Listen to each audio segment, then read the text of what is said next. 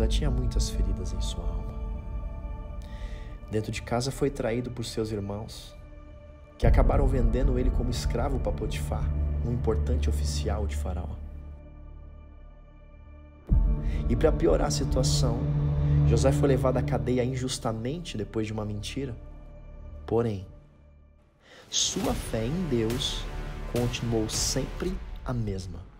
Ele tinha certeza que o Senhor daria êxito em tudo que ele fizesse.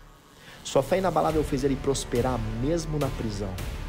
Lá ele se tornou líder de tudo aquilo, mas ele sabia que ainda faltava alguma coisa.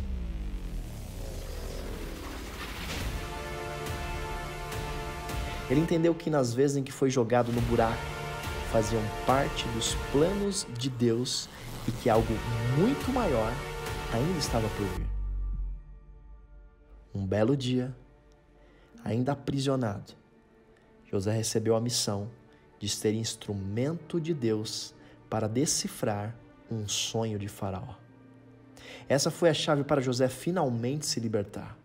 Depois disso, Faraó promoveu José a governador do Egito, onde ele criou uma atmosfera de hiperprosperidade naquele lugar que virou a maior potência mundial. José conseguiu hiperprosperar depois de sete anos no buraco, mas você não precisa esperar esse tempo todo. Tudo que você precisa fazer é prosperar em sete áreas na sua vida em um ano. Isso é que você vai aprender na imersão Hiperprosperidade entre os dias 1 e 6 de fevereiro, sempre às 20 horas.